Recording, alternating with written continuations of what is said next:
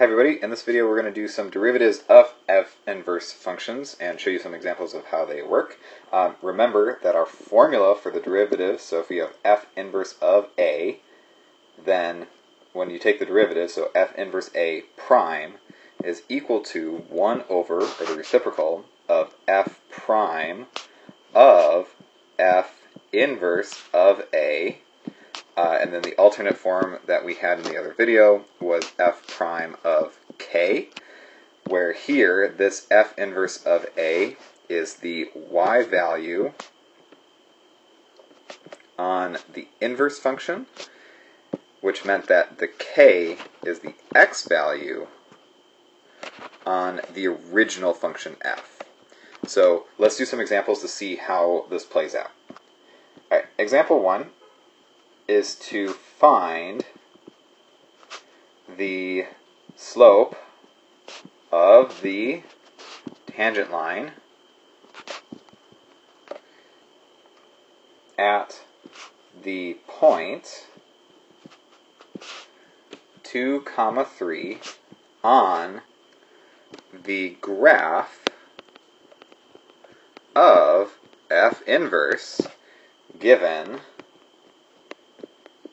that f of x, the original function, is equal to x cubed minus x squared plus 2x minus 22.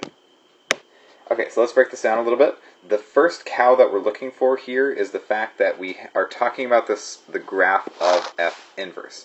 That's going to be a clue that we're going to use this formula, this weird inverse formula, and you should note which graph this point is on because it says 2 comma 3 on the graph of f prime, this means that 2 comma 3 is equal to a comma k on f inverse, which means that the point 3 comma 2, x and y switch, which is k comma a, is on the original graph of f. We should also point out that if you attempted to find the inverse by making this x and plugging in y's for these x's here and then trying to solve for y, you wouldn't be able to do it at all because these uh, this is a cubic expression and we don't have a nice way of solving um, that cubic expression using methods that we're going to talk about in this class or pretty much anywhere without very heavy computers. So to put this into the context of the formula, we are trying to find f inverse of 2 prime because this 2 is the x value on the inverse.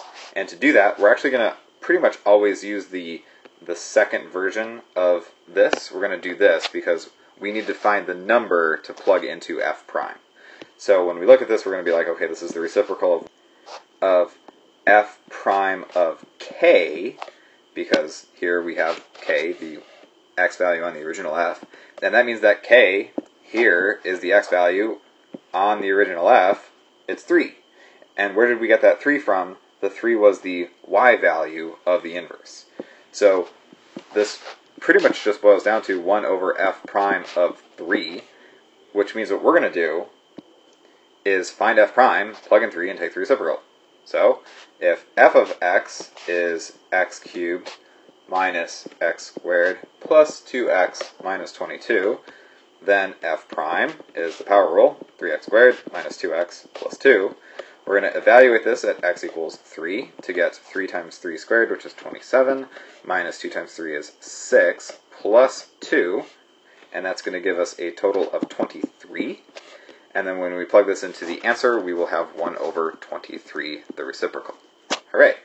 Uh, and this makes sense on a graph. If you have a slope here of 23, which is very steep, then the reciprocal slope, if you take this line and reflect it over y equals x, is going to be very, very not steep, still positive. Technically, they would intersect um, at there, like that. So this would be a slope of 23. This would be a slope of 1 23rd. They're reciprocals of each other. Cool. New problem. Example 2. And this one's a little bit harder. Uh, let's say that we have f of x equals x squared plus x, and we know that h is the inverse of f. Find h prime of 2. So because h is the inverse, this is the same as asking f inverse prime of 2. And so we're going to do, okay, one, this is going to be 1 over f prime of the k value. So remember that because we're plugging in 2 into f inverse, that means that 2 is the x value on f inverse. So the y value on f inverse is k, and then that means on f they switch. So we have k comma 2. This is what we're going to use to determine what k is. So we're going to take the equation for f of x. f of x equals x squared plus x, and we're going to set f equal to 2 because this 2 is the y value on f. So 2 equals k squared plus k. When x equals k, the y value is 2, so I plug in 2 for the y value and k for the x value, and we're going to solve for k. Now, almost all the time, you can solve this simply by looking at it and sort of guessing and checking numbers. So I would guess 0 first, but 0 squared plus 0 is not equal to 2. Then I would guess 1. Oh, look, 1 squared plus 1, that's equal to 2. Great, that means that k is 1. Um, sometimes you will be able to solve this by normal means, so if you subtracted 2 to the other side and then did stuff like factoring, you could determine this, but guessing and checking is going to be by far the best way to do that. Um, cool, so k is 1. Then we come back up here to our formula, and we're like, oh, cool, we need to find uh, 1 over f prime of k. So first we're going to find f prime. So the derivative of x squared plus x is 2x plus 1. We're going to plug in k equals 1 or x equals 1, um, and that's going to give us 1 over 3. Not too bad. New problem. Example 3. Back to blue. Uh, so here we have f of x equals 4 over x plus 2.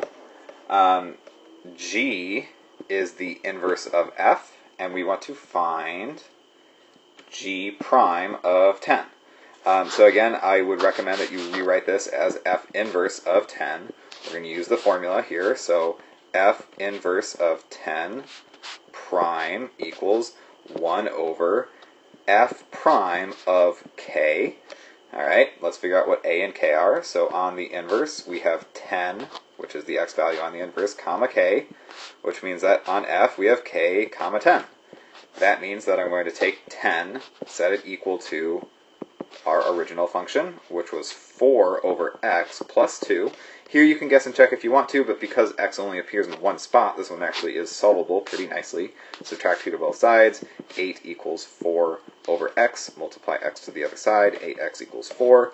Solve by dividing by 8. 4 over 8 is 1 half. Therefore, k, or x, whichever you prefer, is 1 half. This is what we're going to plug into the derivative of f. So, um, oh, we got a little quotient here, but I can rewrite it as 4x to the negative 1. And the derivative of 4x to the negative 1 is negative 4x to the negative 2. Notice that this 2 goes away because it's a constant on its own. So I have 1 over negative 4x to the negative 2. This negative exponent does move up to the top, so this can be rewritten as x squared over and a negative, negative x squared over 4. When we plug in 1 half, we will get negative 1 half quantity squared all over 4, which is the same as negative 1 fourth over 4. And if I take a fourth and divide it into 4 pieces, I get negative 1 over 16. All right, last example um, is a bit of a word problem. So if, this is example 4, 4 comma 5 is a point on the original function y equals f of x and f prime of 4 equals 2, what can we conclude about f inverse? Um, and so really what we're going to try to do is to apply the formula kind of in reverse, but not really. Um, so if we do that and we say, oh, look, I, I have k because I have the x value on f. So if I start there and I'm like, oh, okay, cool. So I have 1 over f prime of 4. Let's actually do our little organization here. So f on f inverse, I'm like question mark, question mark. But I know that on f, oh, what was the point on f? It was it was 4 comma 5. I can put that here, 4 comma 5. That means on f inverse, they switch. And so I know that if I take k and plug it into f prime, I am therefore finding f inverse prime of 5. So I can say that f inverse of 5, quantity prime, is equal to the reciprocal of 1 over f prime of 4. 4 is the x value on f and on f prime.